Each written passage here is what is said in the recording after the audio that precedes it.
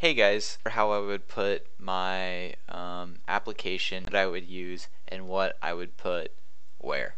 I would basically separate it out into these uh, CloudFront, S3, Elastic. Um, if you're not too familiar with Elastic Beanstalk under the hood too, so it just makes it Elastic Beanstalk Heroku. It's a quick start, helps you get set up really fast. Um, so I would use that, which uses EC2. So that's why these that is EC2 here. So here's how this would work. So I'm splitting up. So this is my Express server. is going to sit on Elastic Beanstalk. Um, and then I'd have my PostgreSQL database on RDS, and I would have React on an S3 and Cloud. Now CloudFront, what this guy does, and here is the flow of it. so it's going to go from CloudFront. CloudFront is basically sits three, so this is its own thing. This has a URL to it. To it. Um, actually, all three of these, each of these has a separate URL. This has a uh, you know URL to access the database, URL to access the website.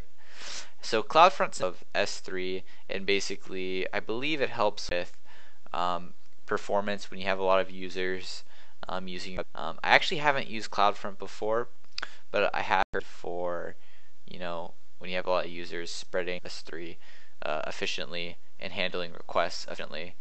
Um, so, but I have used these three before. I'm going to be setting up CloudFront soon with this, but I, that's something I do want to try good to have in front. But again, this is literally just for routing, nothing to do with.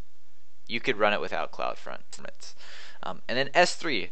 Um, S3 you can sites on. So React, uh, if you're using Create React app, which I like to use, you can actually that is uh, you can create the script HTML, CSS files from that, um, and um, which really is really nice. It loads really fast. I really like that, um, and so really well. Uh, you can also put any type of website on S3, just static HTML, which React lets you, you know, nice that we're able to put this on S3. So this is running on its own S3, these two pieces, right? If we have just a static React application that's talk to a database, we could just run on S3 and this could be our uh, this is all you need for React.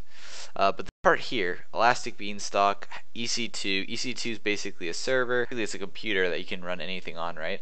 Um, and I'm to be running, I spelled Express wrong here. Um, are there? Okay.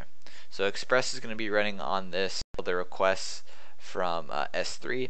And one thing you can actually say on your Elastic Beanstalk, only take requests from your S3 from that and make it very secure, which is nice. And then is uh, where you can put relational, I believe it's relational data. Store. This is where you can store database stuff. Um, so this is the uh, PostgreSQL will be running on. So Elastic Beanstalk, and again, uh, Express is where GraphQL. So for Elastic Beanstalk, it'll be running Express, and Express uh, on that. So both of these. So that's how I would set OS if I were to like you know switch this over. So the individual important parts. RDS, which is its Express, which is its own thing, and S3, which is its own thing, like individually. I could set up RDS and just query it. Or I could set up just Express, and you know I could go to that. Uh, I just three separate entities, um, and then we're basically they're talking, connecting all together, um, which is kind of neat. So yeah, that's how I set it up with uh, Amazon. So thank you guys for watching, and I'll see you guys in the next video.